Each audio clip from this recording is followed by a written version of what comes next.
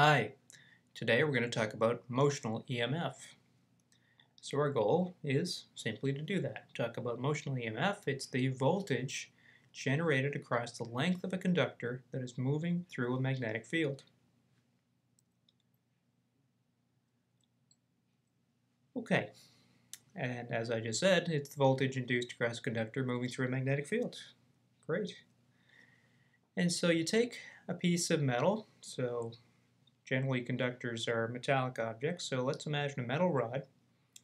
It has a length L, it's moving with some velocity v through a magnetic field B.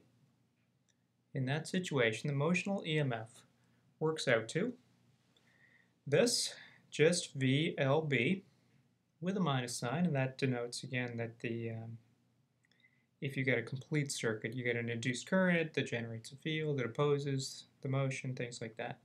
So the minus sign is consistent with Lenz's law. And this squiggly E thing again is EMF or voltage. Okay, now that is true as long as all those three factors, the velocity, the magnetic field, and the length of the rod are mutually perpendicular to each other. Okay. Otherwise, you don't get this, uh, this maximum possible value. Okay, so here's a case where we can apply the equation. So the blue arrow indicates the velocity of our rod. The rod has a length, and if you think of the rod as being vertical, then the velocity is horizontal. The length of the rod is measured in the vertical dimension, the long dimension of the rod. The rod's the red thing. And then all those x's in the picture represent magnetic field that goes into the page. So this is an example where the velocity, the length, and the magnetic field are all mutually perpendicular to one another. Then we can apply our E equals minus VLB equation. Okay, so imagine that this is a neutral object. It's a piece of metal and it's got lots of electrons, got lots of protons, but overall it's neutral. However, what it does have is a bunch of uh, what we call conduction electrons, and those are free to move around in response to things like forces from electric or magnetic fields. In this case, we're going to apply a force from the magnetic field. Okay, so then, after talking about electrons, I asked this question, which direction do positive charges deflect if they move with the metal rod to the right in a magnetic field directed into the page? Okay, so we know that, in fact, the positive charges are fixed uh, in position on this rod, basically, and it's the electrons that really do the moving. But you can imagine positive charges that are free to move around, that are moving with the rod. And of course, there's a corresponding set of uh, negative charges. Those would be the electrons. Okay, so what you can do is you can say, okay, I'm going to just imagine a bunch of positive charges, a bunch of pluses, and they're moving with the rod. So they have a velocity to the right because the whole rod is moving to the right. And so we can use our right-hand rule associated with our F is QVB sine theta equation. Okay, so in this case, we figure out that we point our fingers in the direction of the velocity, that's to the right. We point our palm into the screen, that's the direction of the magnetic field, and the thumb points up toward the top.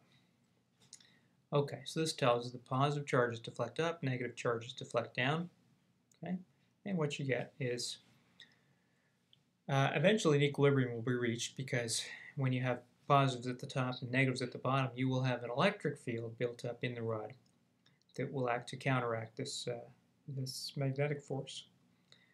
And what really happens, of course, is just the electrons move around, the conduction electrons, and they move down from the top toward the bottom, and so there's a deficit of electrons at the top. So there, there is a net positive charge at the top. Okay. So there's our motional EMF. So what this does is it acts like a battery with a battery similar to this one here, where the positive terminal is at the top and the negative terminal is the bottom. Okay, that's what this rod does. Okay. So what we do next is we hook this up in a circuit. Okay, so here's the same rod, but it's hooked up in a circuit now, The blue things are uh, conducting rails. This is like like uh, the rails you find on a train track, for instance. Okay, so they're a pair of rails parallel to each other. They are conducting, separated by some distance L. L is the length of the rod, in fact. And we've got a resistor in the circuit. So the, in addition to being joined by the rod, the rails are also connected via uh, a couple of wires, those are the black things, and the big green thing is a resistor. And we're going to assume the resistance of our circuit here is basically concentrated in the resistor itself. So the rails and the wires and the rod itself have a negligible resistance in comparison to the resistance of this resistor here on the left. That's the green thing. Okay, so note that we don't have a battery here. All we have is the rod. If the rod just sits there, then nothing happens. But if we move the rod,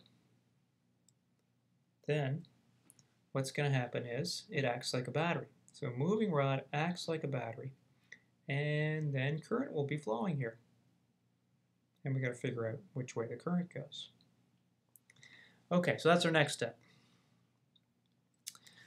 Okay, so will there be an induced current? Tell you what, there is one. So don't vote for three.